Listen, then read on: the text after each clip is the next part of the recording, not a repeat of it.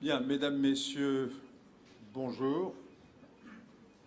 Et euh, je suis très heureux de ne plus vous voir.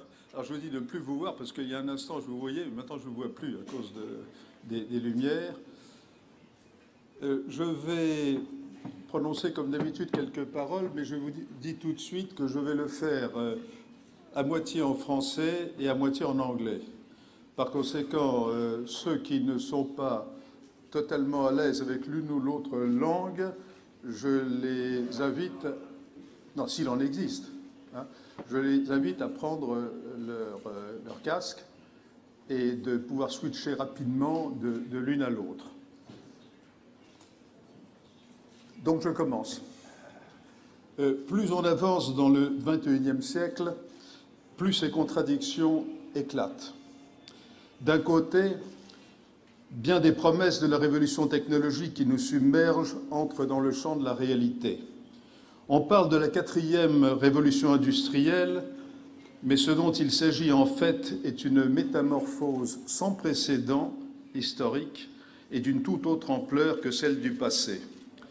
L'automobile autonome, la circulation dans les trois dimensions à l'intérieur des villes, les maisons et les cités dites intelligentes, les robots partout, l'avènement des blockchains, la technologie qui permet potentiellement de transformer les transactions de toute nature en supprimant les intermédiaires de confiance, la perspective d'une agriculture verticale et, florissant jusque dans les déserts, l'homme augmenté ou réparé, voilà quelques exemples parmi d'autres de ce monde de demain que beaucoup d'entre nous ici présents connaîtront. Et pourtant, le monde d'hier marque toujours notre présent de son empreinte. La technologie, disaient certains, allait abolir les frontières et favoriser l'avènement rapide d'une mondialisation heureuse. Au lieu de quoi, on assiste à une exacerbation des réalités nationales qui nous renvoie irrésistiblement aux deux siècles passés. S'il me fallait caractériser le phénomène géopolitique dominant dans les 30 prochaines années, je dirais sans hésiter la rivalité entre la Chine et les États-Unis. Pourquoi 30 ans?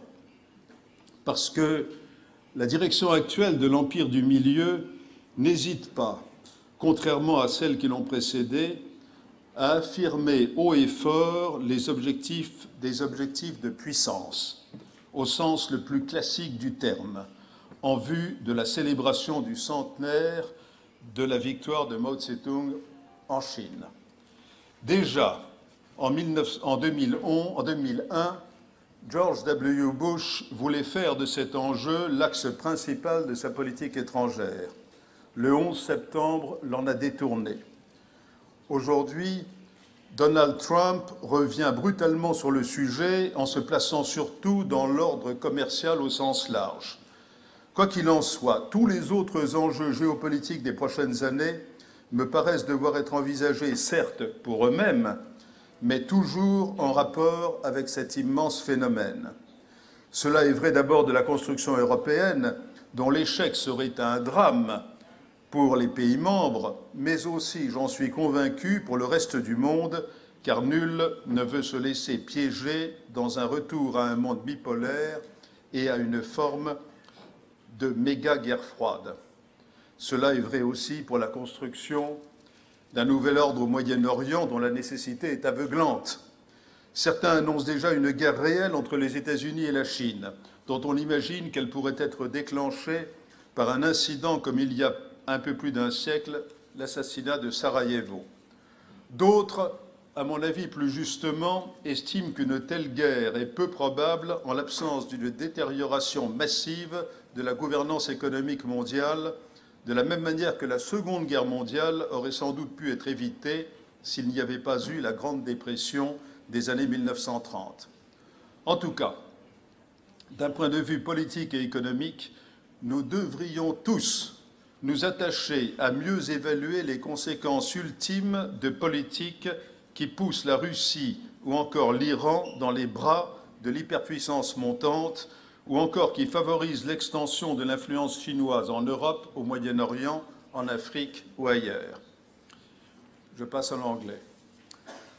How can we not also be concerned about the return in international politics to violence that is not only verbal, but palpably real in the behavior of a growing number of states? The first to come to everyone's mind are states that do not claim to be democracies or are moving away from democratic principles. Yet, who would have thought in the past that a US president would be constantly doling out insults and threats as much to his real or supposed adversaries as to his allies?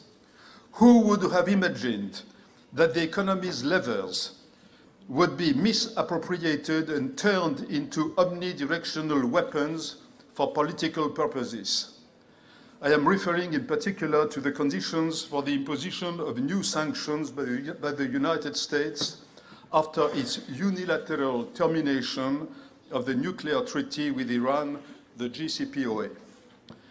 Almost two years after Donald Trump's election, I must admit his actions do have certain coherence to them, and that the systematic use of the survival of the fittest principles has yielded results.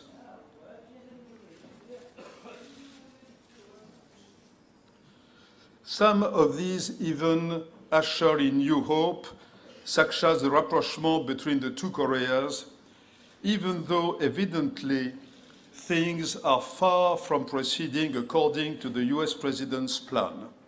Kim Jong un and Moon Jae in have their own agenda to run. Korea has, over the centuries, learned how to behave towards the giants surrounding it. That being as it may, how can we overlook the fact that the short term gains achieved by America in terms of trade, or perhaps with respect to Iran, will also inevitably trigger reactions that have immense long term consequences? Thus, even if the institutions of multilateralism hold up against the barrage orchestrated by the, 40, by the 45th President of the United States, I believe that the dollar's survival as a single global reserve currency is now being challenged in a very real manner. Seeing this, the middle powers, the importance of which is one of the WPC's leitmotifs, should feel steered to double up their, effort, their efforts toward building global governance that is not dependent on the unpredictable march of the dominant power. Français. Le conflit entre le nouveau et l'ancien temps ne se réduit pas à la contradiction entre la mondialisation impliquée par la technologie et l'affirmation renforcée de la réalité nationale. La vague de l'islamisme politique, qui n'a cessé de grossir depuis quatre décennies, continue d'étendre ses ravages dans les terres musulmanes et partout ailleurs. Rien ne permet de penser qu'elle aurait commencé à refluer. Le détournement des religions comme arme politique ne se limite d'ailleurs pas à l'islam. Dans l'actualité la plus récente, et dans une mesure certes tout à fait différente, la séparation en cours des églises orthodoxes russes et ukrainiennes illustre la complexité du lien entre religion et politique en ce XXIe siècle bien entamé, dont André Malraux aurait proclamé qu'il serait religieux ou tout au moins spirituel. Quoi qu'il en soit, l'un des objectifs majeurs de la gouvernance mondiale doit être la lutte contre toutes les formes de guerre de religion qui, tant de fois dans l'histoire, ont endeuillé les peuples tant elles ont pu temporairement, toutes emportées sur leur passage. English. Government is not only guided by reason. Government is not only guided by emotions. There must be a balance. There must be some sense of measure. Instead, what we see before us is polarization, the triumph of reason as expressed by the technological revolution is indirectly exacerbating the most destructive passions and the most malevolent misappropriations of the aspiration to the divine.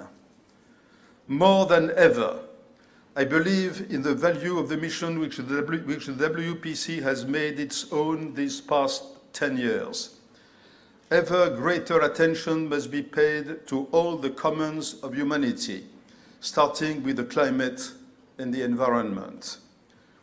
We need to identify these areas of common heritage and learn to manage them collectively. The practices, the practices through which democracy is brought to life need to be reinvented in order to better combine dignity and efficiency. By actively conveying this message, the WPC hopes to contribute, albeit modestly, to the sustainable development of a reasonably open world that allows human beings, whatever their beliefs, to better experience both the reality and the mystery of their existence.